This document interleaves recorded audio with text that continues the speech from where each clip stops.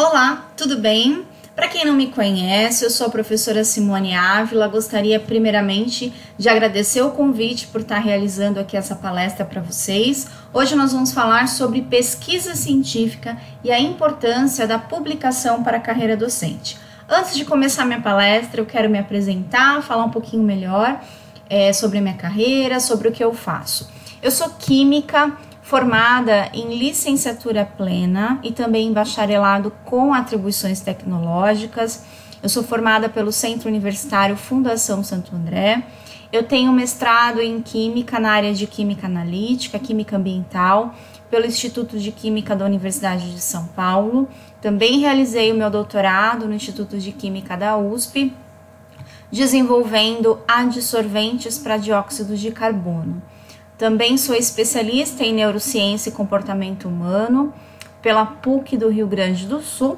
Trabalho como professora universitária desde 2012 e eu tenho um canal no, no YouTube. Sou fundadora desse canal do The Best Professor Química para Universitários, onde eu disponibilizo é, conteúdos para professores, futuros professores e, e, também graduandos, né? Tanto conteúdos de química quanto conteúdos voltados para a prática docente.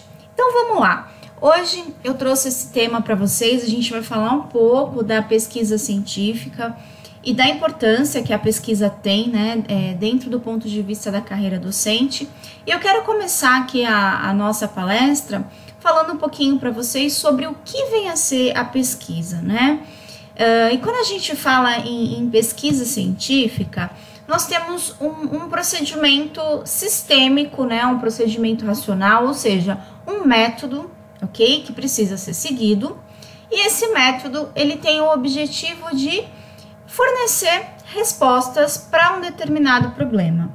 Então, quando a gente fala de pesquisa, ela depende de alguns fatores. Ou seja, a pesquisa científica, ela depende do conhecimento que se tem disponível sobre o determinado assunto que eu preciso estudar. OK? Então eu preciso fazer um levantamento desse conhecimento disponível. E ao mesmo tempo, eu preciso usar métodos e técnicas de investigação científica. Além disso, a gente precisa fazer uma pesquisa partindo de um problema. Não faz sentido eu propor uma pesquisa científica se eu não tenho um problema definido. Então, o grande objetivo, falando de uma forma um pouco mais resumida, é nós utilizamos a pesquisa considerando que existe um método a ser seguido, ok? E esse método a ser seguido, ele vai nos dar uma resposta para um problema. Então a pesquisa ela não deixa de ser uma ferramenta para a resolução de problemas da sociedade.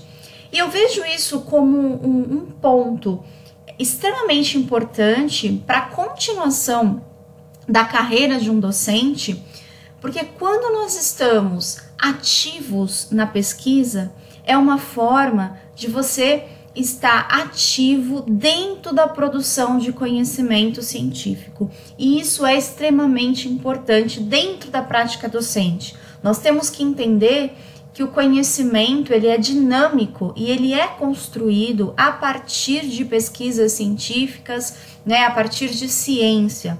Então a ciência na realidade ela é dinâmica, né? À medida que nós vamos fazendo estudos, coisas novas vão surgindo, novas respostas, né, é, vão aparecendo e uh, o professor como alguém que tem a função, né, é, de instigar o outro a aprender, ele tem um papel muito grande em relação à pesquisa científica e essa pesquisa vai trazer uma bagagem muito grande dentro da prática docente, né? É uma forma de nós, como professores, ajudarmos a produzir conhecimento e ao mesmo tempo estar sempre por dentro do que está acontecendo.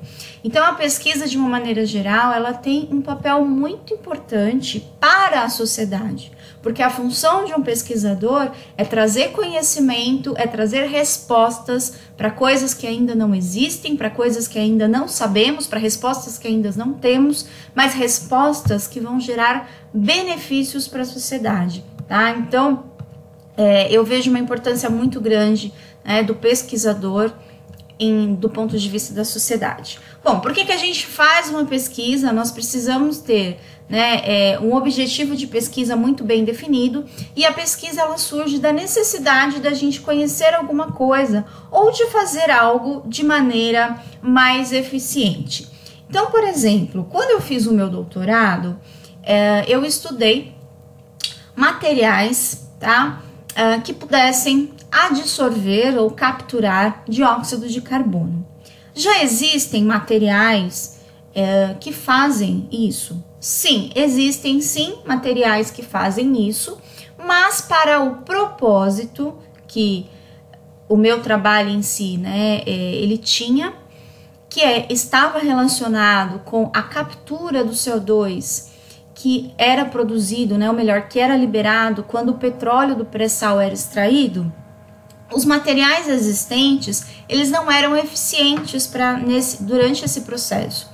Então, nesse exemplo que eu coloquei, eu não, eu não estou criando algo ou conhecendo algo, mas eu estou fazendo algo que já existe, mas de uma forma mais eficiente. Já existem materiais que capturam CO2? Já existem mas eu preciso criar um novo material ou eu preciso fazer esse processo de uma forma diferente porque existem alguns problemas de eficiência, né? Existem alguns problemas com esses materiais que já existem. Então eu preciso é, fazer isso de uma forma diferente. Para isso eu preciso fazer uma pesquisa científica, tá?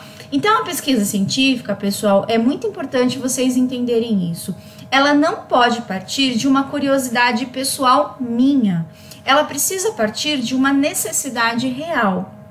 Isso é muito importante, principalmente uh, quando a gente vai desenvolver uma monografia, um TCC, que basicamente é o primeiro contato que o aluno tem com a atividade de pesquisa, né, com o trabalho acadêmico, o trabalho de pesquisa, e muitas vezes ele se interessa por fazer algo que está relacionado a uma curiosidade pessoal, né? E não pode ser uma curiosidade pessoal, precisa ser uma necessidade real, tá? É lógico que quando nós falamos de um trabalho, de um TCC, por exemplo, a gente não vai mudar o mundo, não é algo inédito, mas a gente tem que né, é, desenvolver alguma coisa, ok? Que possa contribuir tá? De uma forma diferente, não precisa realmente ser nada inédito e muitas vezes a pesquisa científica ela pode ser também é, uma, uma pesquisa de cunho teórico,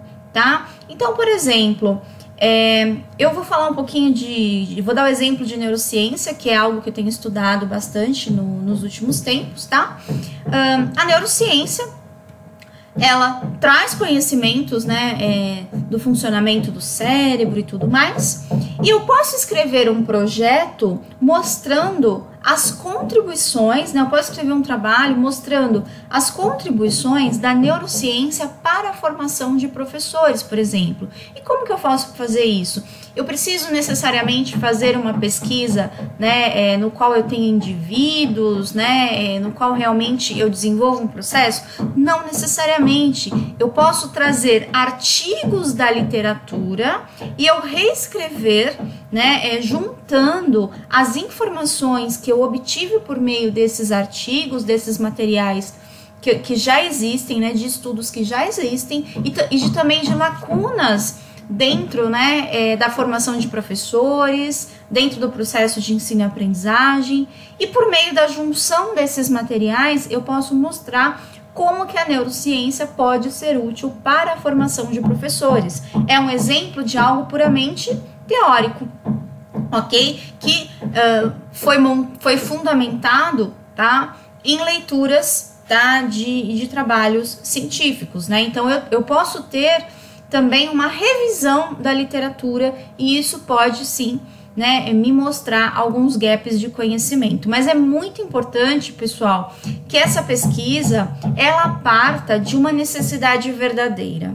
Tá? Seja no sentido de produzir algo novo, seja no sentido de fazer algo de forma diferente, de forma mais rápida, de forma mais eficiente, ou seja no sentido puramente de resolver um problema existente, tá? Então, eu, na área de ensino, por exemplo, eu posso desenvolver uma pesquisa com base em alguns problemas que nós identificamos dentro da área do processo de ensino-aprendizagem ou do processo de ensino de química, por exemplo, tá? Ou trabalhos também científicos. A primeira fase, quando a gente faz uma pesquisa, eu preciso ter um projeto. E o que, que é um projeto? É um planejamento do que vai ser feito. Então, a pesquisa, o ponto-chave é a gente iniciar a partir desse projeto. E nesse projeto, eu preciso ter muito claro a formulação do meu problema. O que, que eu vou estudar, ok? Quais são as necessidades que, que eu preciso, né? Qual é o problema realmente que eu tenho? E esse problema, ele parte de objetivos, obviamente, e de formulação de hipóteses, tá? Então, no, no exemplo que eu coloquei para vocês do meu doutorado, tá? O meu objetivo era produzir um material sólido que fosse capaz de capturar dióxido de carbono. Esse era o meu objetivo. Por quê? Porque a gente sabia que os materiais que existiam, né, é, eram líquidos e isso trazia alguns problemas, tá? Na hora de fazer a captura desse CO2 liberado quando o petróleo era extraído. E feito isso, a gente vai formular uma hipótese. E o que, que é formular uma hipótese?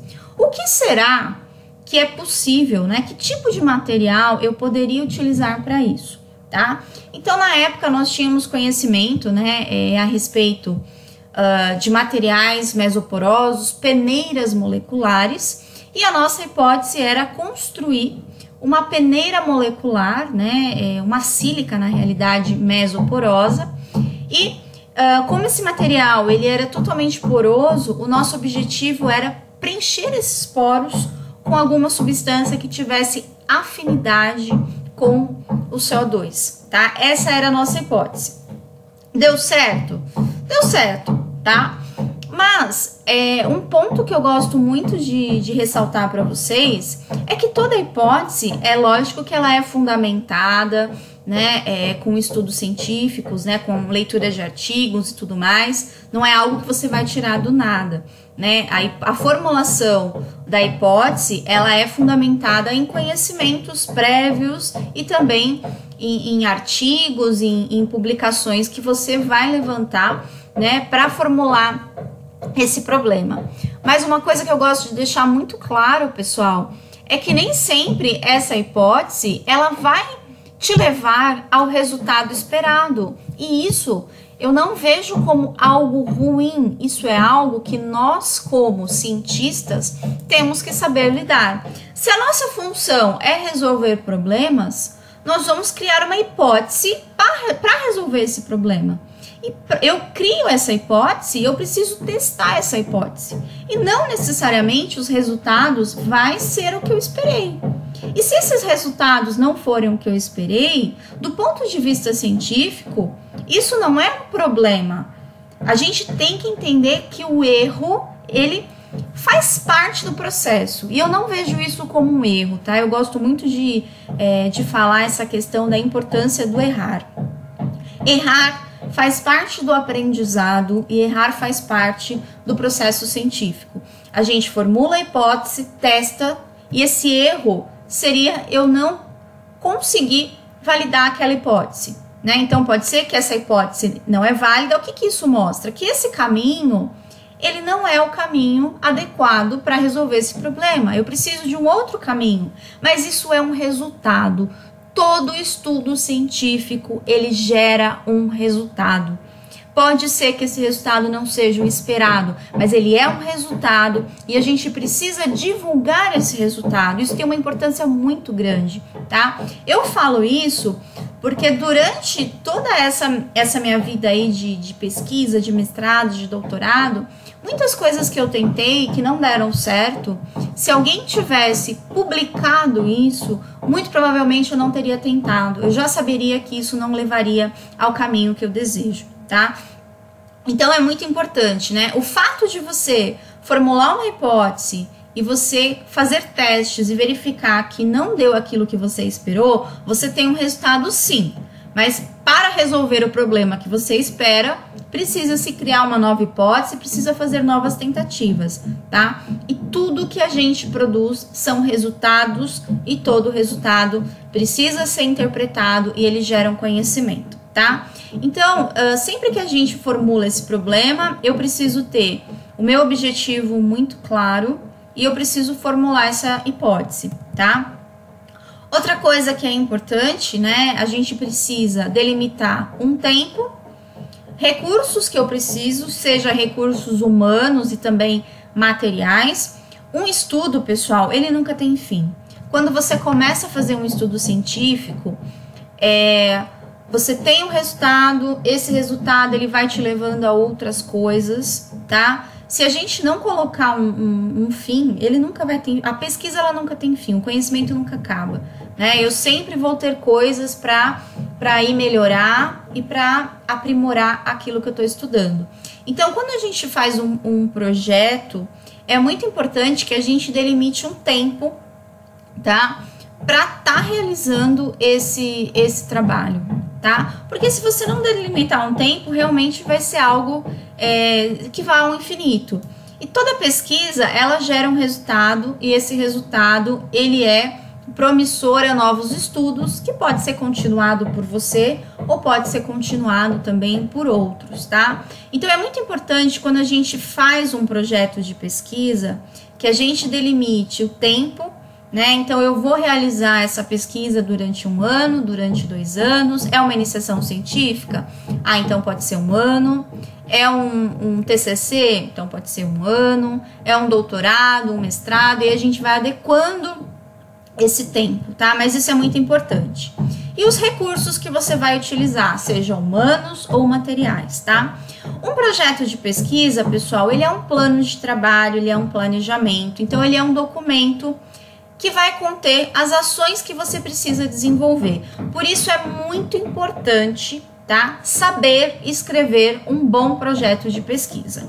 Um bom projeto de pesquisa, ele é o primeiro passo para que né, é, a sua pesquisa e, e tenha, tenha sucesso. A gente precisa de planejamento, tá? O planejamento é extremamente importante para que os resultados realmente aconteçam, tá? Então a primeira fase realmente é a construção desse projeto. Esse projeto, ele precisa ter, né, a formulação do tema e a gente coloca isso no formato de uma introdução. O que, que é essa introdução? Essa introdução eu vou apresentar o tema que eu escolhi e vou mostrar qual é a situação atual do conhecimento científico em relação a esse tema e mostrar uma lacuna do conhecimento. Por exemplo, vou voltar de novo no exemplo que eu dei para vocês do meu doutorado. O tema do meu doutorado era captura de CO2, ou seja, né, é, eu tenho processos industriais que emitem CO2, ou também é, a questão né, é, da extração do petróleo também emite CO2. Então, nós temos processos que emitem CO2 e esse CO2 não deve ir para a atmosfera. Então, eu preciso ter materiais capazes de capturar esse CO2, tá? Então, o tema escolhido nesse exemplo é a captura de CO2. Qual que é a situação atual, né, no momento que eu fiz a pesquisa, tá? Uh, do conhecimento científico. Ou seja, eu vou mostrar quais são os materiais que já existem para captura de CO2. Eu vou falar quais são os processos que liberam CO2. Tem processos industriais que liberam CO2? A indústria do cimento, por exemplo, né, libera CO2 porque eu tenho carbonato de cálcio, né, e esse carbonato de cálcio é decomposto em óxidos de cálcio e CO2. A indústria do petróleo, quais são os processos né, industriais que liberam CO2 e quais são os materiais utilizados hoje? E feito isso, eu preciso identificar uma lacuna do conhecimento, ou seja, alguma falha que tem, um problema. Existem materiais para capturar CO2? Existem, mas quais são os problemas que, que, que esses materiais ainda não atendem? Né? No meu caso, eu escolhi trabalhar com, com, com CO2 emitido né, durante a extração do petróleo, tá? E os materiais que existiam, eles não eram eficientes, né? Eram materiais líquidos, voláteis, enfim, tinham alguns problemas. Então a função de eu produzir um novo material é que eu vencesse as limitações que o material existente né, é, apresentava. Então a gente tem que ter o tema escolhido, né? Eu, eu tenho que falar sobre esse tema e, e, eu tenho que mostrar como está o conhecimento científico sobre esse tema, tá? E a partir daí a gente vai. Essa lacuna do conhecimento é um problema que precisa ser resolvido. Né? Se a gente for pensar na área de ensino, por exemplo, quais são as falhas né, é, que nós temos ainda em relação ao processo de ensino e aprendizagem de química? Né? O que, que eu posso criar para otimizar o aprendizado do aluno? O que, que eu posso criar para motivar o aluno? Né, para desenvolver o espírito científico, para que o aluno comece a se interessar por ciência, enfim, né, é, a gente precisa escolher esse tema e verificar quais são os problemas que existem nele. Nunca é algo que você acha legal, tá? Isso tem que ficar muito claro. Tem que ser algo que realmente precisa ser estudado, tá? Uma vez que eu escrevi a introdução do meu trabalho, eu preciso formular o problema. O que é formular o problema, né? É uma pergunta que você precisa responder enquanto você faz o seu trabalho. Voltando ao meu exemplo, será que materiais mesoporosos incorporados com substâncias que reagem com CO2 pode ser uma alternativa para a captura de CO2, por exemplo? E com isso eu vencer alguns problemas dos materiais pré-existentes, que é volatilidade, oxidar facilmente. Ou seja, aqui é definir realmente o problema que você está estudando tá? Que problema, que problema é, é, é esse? Com detalhes, né? De forma que você possa representar isso no formato de uma pergunta, né? Então, uma pergunta que você vai responder enquanto você faz o trabalho, né? Então, eu falo que é, a formulação do problema, quando você realiza seus testes e você conclui o seu trabalho, você vai ter uma resposta a essa pergunta. Essa resposta não necessariamente vai ser uma resposta positiva. Pode ser que simplesmente, né, é, olha, esse esse material ele não é eficiente para a captura de CO2 devido a tal, tal, tal, ok? Então é, é muito importante a gente entender isso, né? E aí, se você realmente quer trabalhar resolvendo esse problema né? É, você precisa promover um outro caminho. O que, que é promover um outro caminho? Criar uma nova hipótese, tá? Os seus objetivos também é um ponto muito importante que precisa estar presente no seu projeto de pesquisa, tá?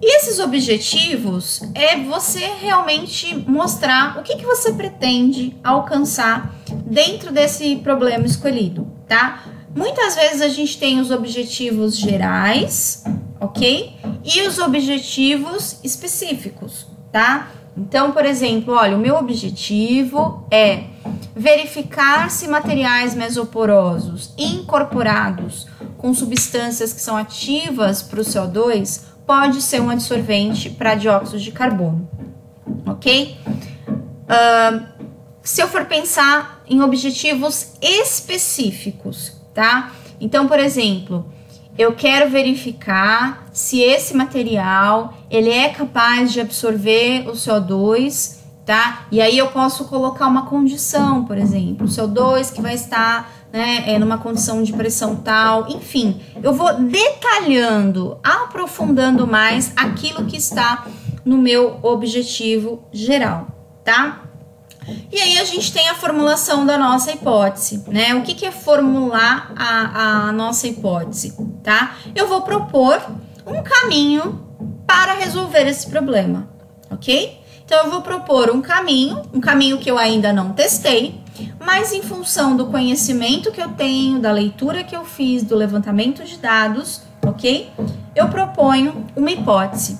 E essa hipótese, ela está muito relacionada, né? Quando a gente fala em caminho, é qual é o método que você vai utilizar para criar, para criar o seu trabalho, né?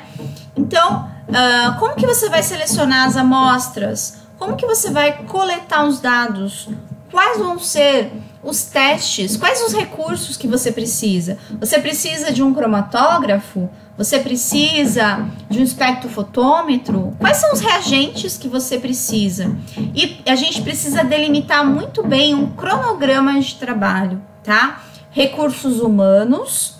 Se você é um professor, por exemplo, e você está fazendo um projeto maior, e muitas vezes esse projeto vai envolver vários alunos, né? Quantos alunos de iniciação científica você pode colocar nesse projeto, tá? Em relação a recursos financeiros, o que, que você precisa para fazer esse projeto? Quais são os materiais, tá? Para que você possa desenvolver esse projeto. Então, quando a gente formula essa hipótese, eu tenho que mostrar o caminho que eu vou seguir.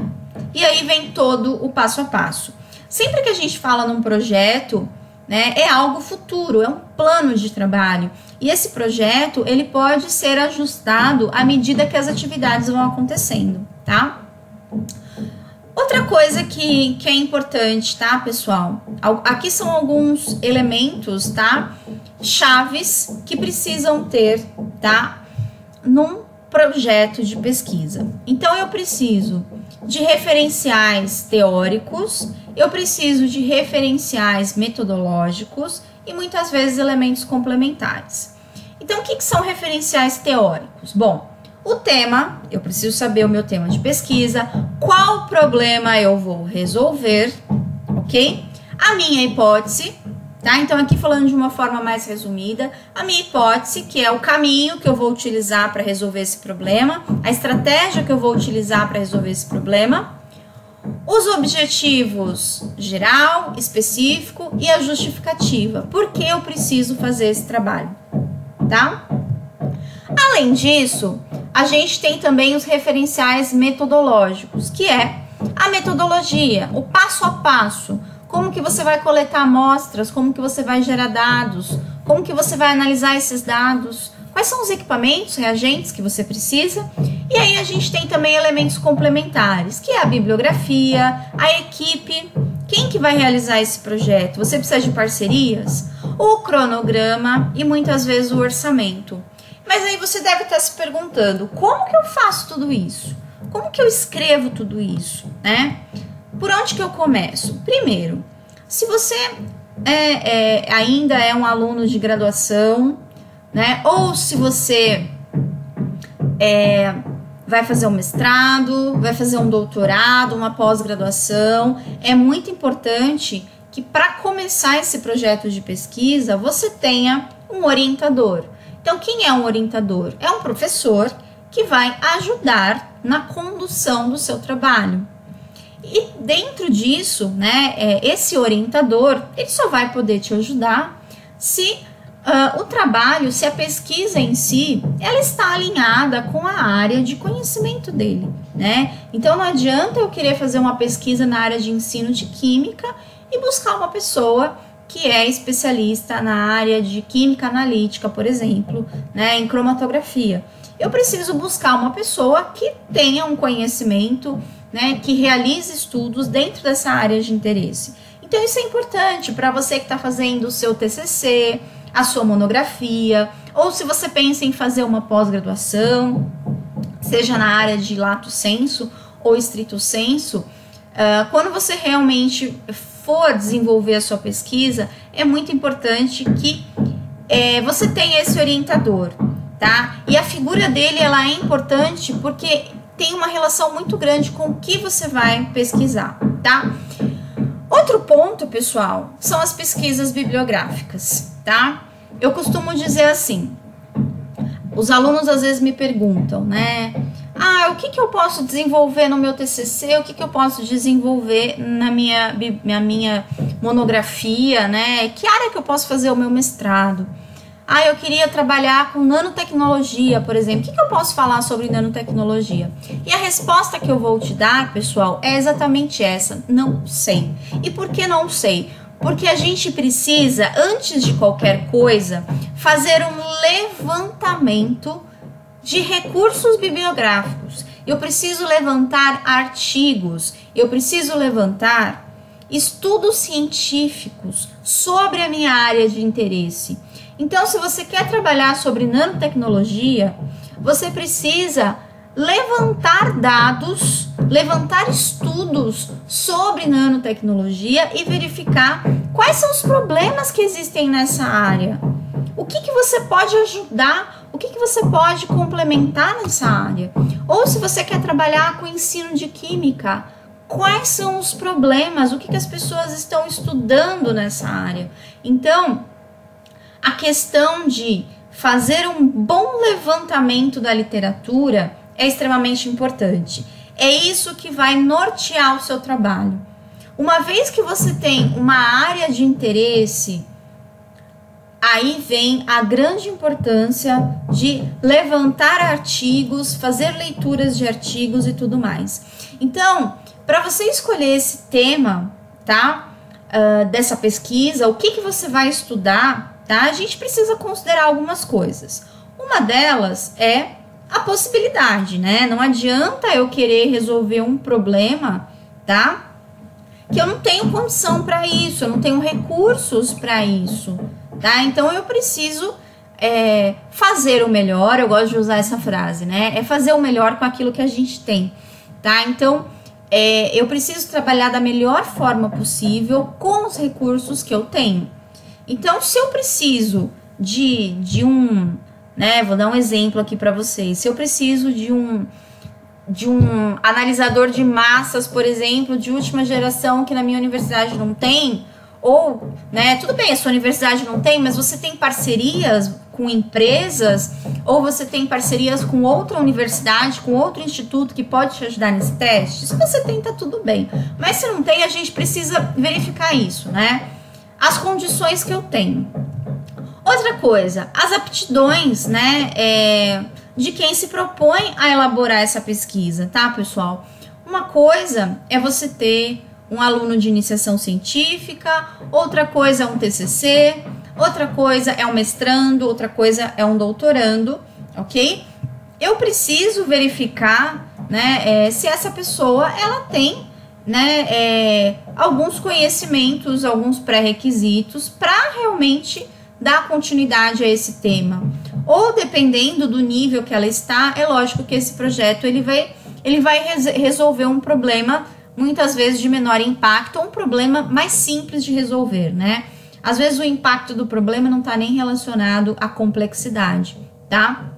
Às vezes existem problemas que se resolvem de uma maneira simples, mas que nunca foi resolvido porque ninguém enxergou aquilo, tá? Então é muito importante levar isso em consideração também. E outra coisa, né? Um objetivo que mereça ser investigado. Então, a primeira coisa, pessoal, tudo parte de um bom levantamento da literatura. Então, eu preciso baixar artigos, fazer a leitura de artigos científicos e me interar sobre aquele tema.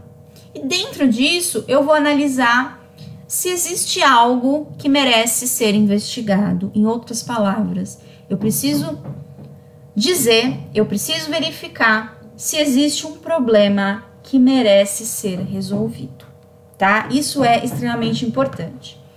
E uma das coisas assim que eu vou dizer para vocês que é de muita importância e dê atenção a isso, a língua inglesa. E por quê, pessoal? O inglês é a língua da ciência, é o idioma da ciência.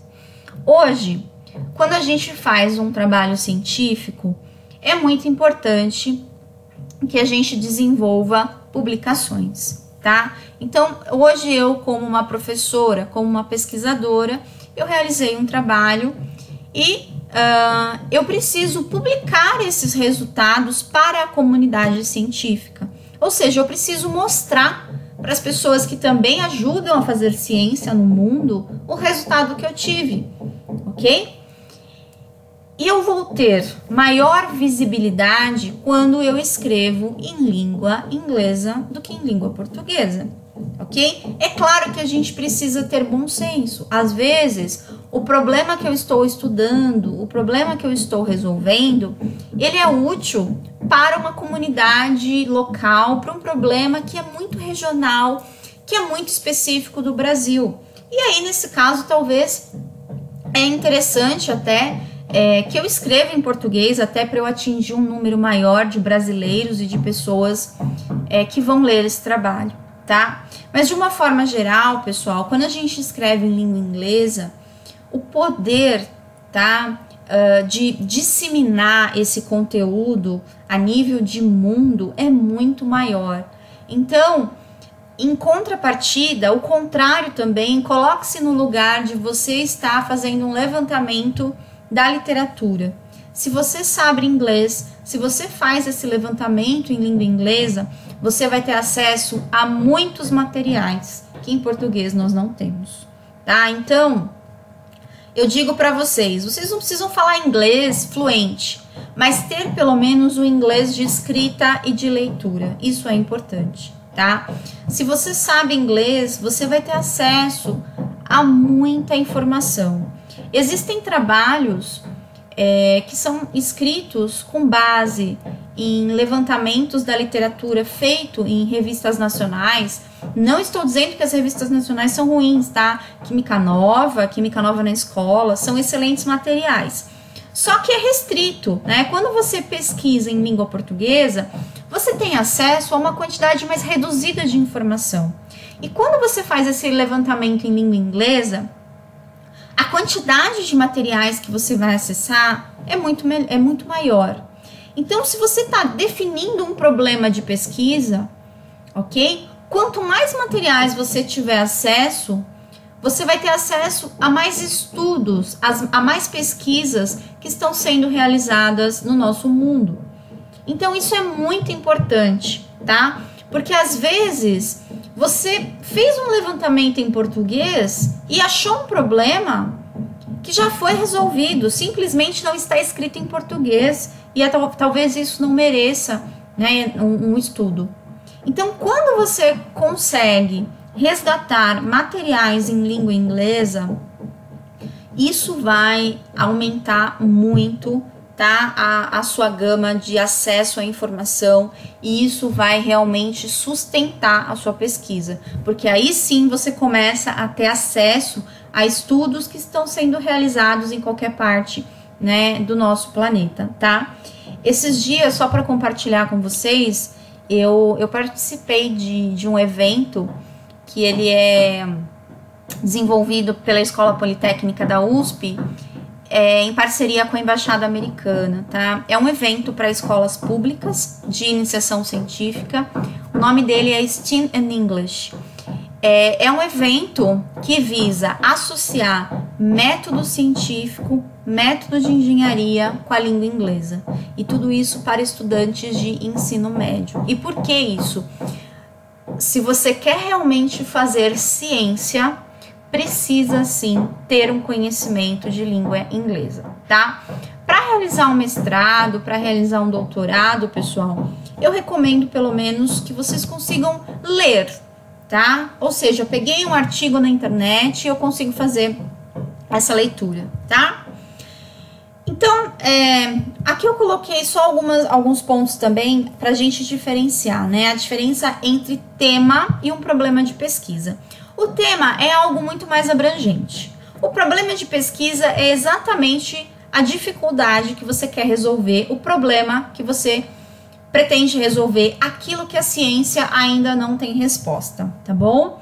No exemplo do meu doutorado, novamente para vocês, qual é o meu tema de, de pesquisa? O meu tema de pesquisa é materiais capazes de absorver CO2. Esse é o meu tema. Agora, qual é o meu problema? Qual que é a dificuldade? Eu preciso desenvolver um material que seja utilizado para captura de CO2, ok? Na indústria do petróleo, né? Durante a extração do petróleo. Então, isso está refletindo algo que a ciência ainda não tem uma resposta, tá?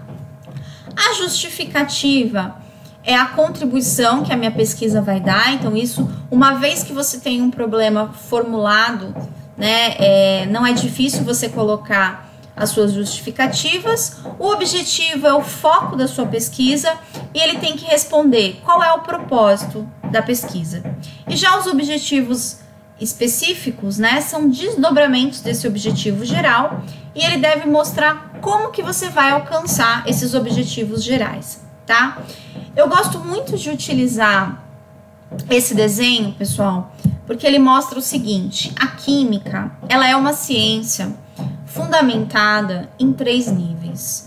O nível macro, que é aquilo que nós estamos observando, né, os fenômenos que nós estamos observando. Então eu enxergo o fogo, eu enxergo é, a ferrugem, enfim, né, os fenômenos que a gente está enxergando, tá? O nível microscópico, o que, que é o nível microscópico? São os modelos, as estruturas moleculares, um mundo que eu não consigo enxergar, mas que eu crio um modelo para explicar coisas que a gente observa macroscopicamente. E a gente tem um nível simbólico. O que é um nível simbólico? São, é uma linguagem, né? Então, o que seria isso? Fórmulas químicas tá? Uh, equações, símbolos químicos. O aluno ele precisa entender uma linguagem para dominar a química. Então, quando a gente ensina nomenclatura de química orgânica, as fórmulas químicas, como que o aluno coloca uma reação, a gente está num nível de simbólico ainda. Eu tô, eu tô ensinando para ele uma linguagem que ele precisa dominar para entender ciência. E aí eu costumo dizer para vocês que a ciência ela é construída a partir do momento que você consegue transitar entre esses três níveis. Você consegue observar algo macroscopicamente, ok? E ao mesmo tempo você consegue criar modelos que explique esse macroscópico e você utilize uma linguagem apropriada para representar esse modelo. E a gente precisa desenvolver esses três níveis aqui com os nossos alunos, né? Esse pensamento com os nossos alunos. E a ciência, ela é construída a partir do método científico. O que, que é o método científico? O método científico, ele é utilizado para resolver problemas. E que problemas? Problemas que ainda não temos a resposta. E esse problema, ele parte muitas vezes do que? Ele parte de uma observação de algo que está acontecendo macroscopicamente, algo que eu estou percebendo. Então eu tenho um problema que eu preciso resolver, ok? E aí o que, que a gente vai fazer? Eu tenho um projeto, né, que vai me ajudar a, a a nortear a resolução desse problema, mas em contrapartida, o que, que eu preciso? Eu preciso observar algo macroscopicamente, tá? E a partir disso, a gente vai realizar experimentos, eu vou testar. Então, eu tenho um problema macro, ok? Dentro do nível macroscópico, certo? Eu vou formular, obviamente, uma hipótese, alguma coisa, e eu vou realizar testes então é muito importante a gente verificar isso, né? Eu preciso realizar experimentos. A partir do momento que eu realizo experimentos, eu tenho dados. Esses dados eu preciso analisar e identificar tendências. Eu vou pegar um exemplo simples que eu acredito que todos vocês possam acompanhar o meu raciocínio. Vamos, vamos imaginar estequiometria, né? Quando a gente ensina estequiometria para um aluno, a gente fala muito da, da lei da conservação das massas, né? A lei de Lavoisier. O que, que essa lei fala?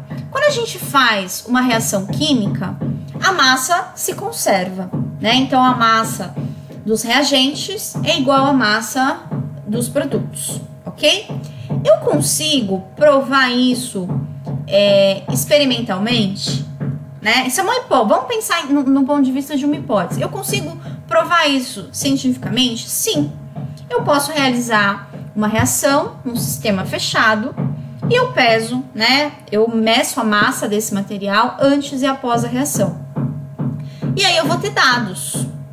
Esses dados vão me permitir identificar uma tendência. Falar, olha, eu fiz várias reações químicas e eu pesei antes e depois. E eu observei que a massa se manteve. É uma tendência. A partir dessa tendência, eu vou formular uma lei, ok? A partir dessa lei, a gente tem uma hipótese. Então, o que, que seria essa hipótese? Né? Que a massa se conserva numa reação química, ok? E aí eu vou o quê?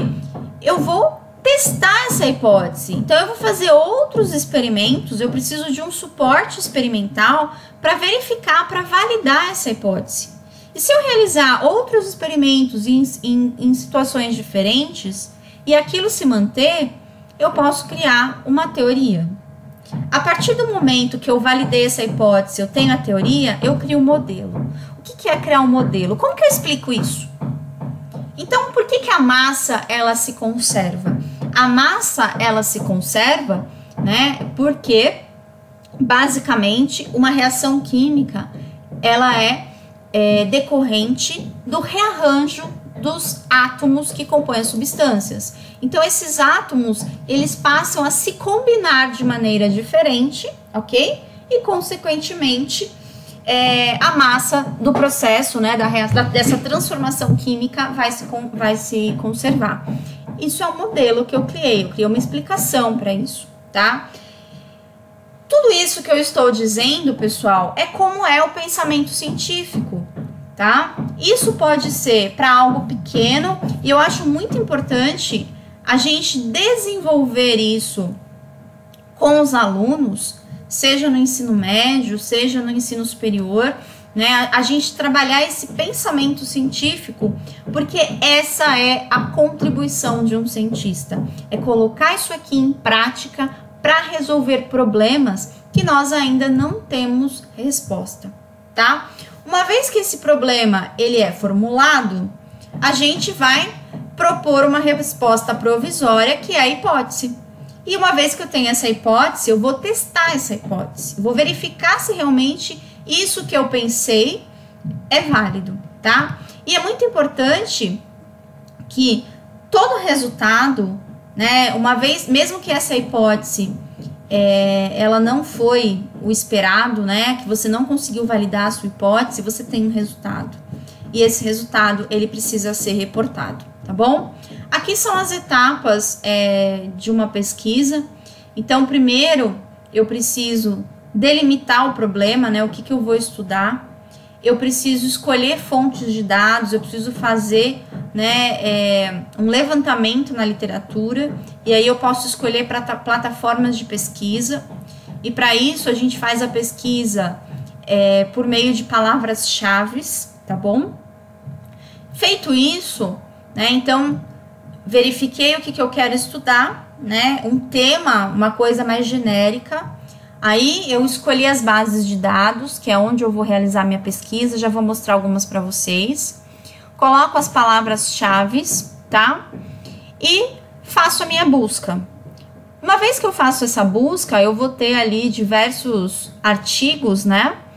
E o que, que é importante, né? que você passa a selecionar esses artigos. Eu gosto de fazer a seleção dos artigos pelo resumo. Então, uma vez que eu faço a busca, vai ter lá um monte de resultado. Nem sempre eu vou ler todo, tudo aquilo. Mas o que, que a gente faz? A gente lê o resumo desse trabalho e aqueles resumos que me chamaram a atenção, eu vou né, é, extrair esses artigos, né? Vou lá e salvo esses artigos no computador e depois eu faço uma avaliação desses artigos, uma leitura mais crítica dele.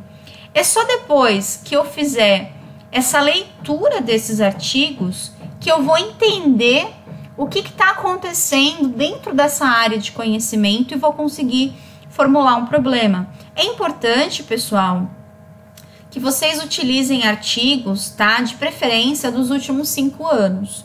Porque se você pegar um artigo de 20 anos atrás, quem me garante que esse problema já não foi resolvido hoje, tá? Existem alguns é, trabalhos, alguns artigos que faz até sentido a gente é, buscar coisas antigas, tá, pessoal? Não é, não é que é proibido vocês terem artigos antigos, mas eu preciso sim ter pelo menos uma quantidade significativa dos materiais que eu pesquisei dos últimos cinco anos, para que realmente reflita a realidade daquele problema que está sendo estudado, tá bom?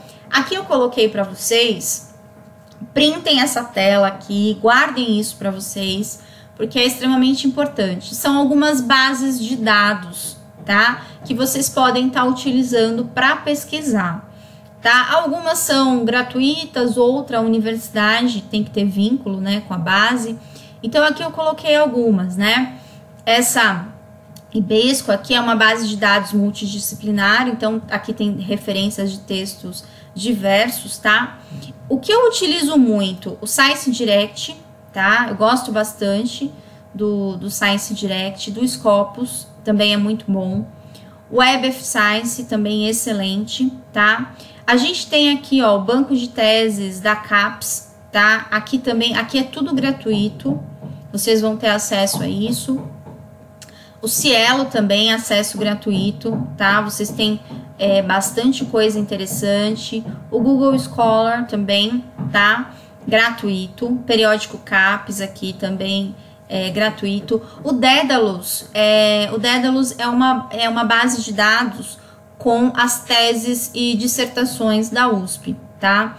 É parte mais ou menos de 2007 em diante, 2006, por quê?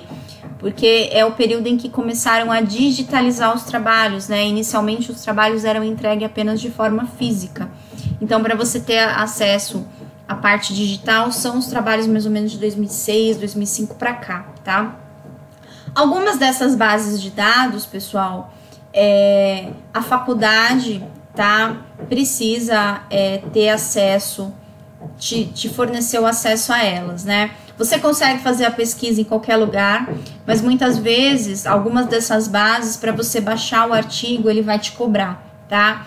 É, eu, por exemplo, uh, na Universidade de São Paulo, né? É, quando eu fiz o meu doutorado, a gente tinha estando dentro do campus, né? Às vezes com o nosso próprio notebook, mas conectado no Wi-Fi da universidade, a gente tinha acesso a esses materiais. Então, muitas vezes, se você vai numa biblioteca de uma universidade, você consegue é, fazer o download desses artigos, tá? Mas várias dessas bases de dados para vocês fazerem as buscas são gratuitas, tá? Então, como eu coloquei aqui, a CAPES, o Cielo, tá? É gratuito, o Google aqui, o Google Scholar, tá? O Daedalus tá bom? São bases gratuitas. Printam essa tela, porque isso aqui é super importante para vocês fazerem as pesquisas de vocês, tá, pessoal?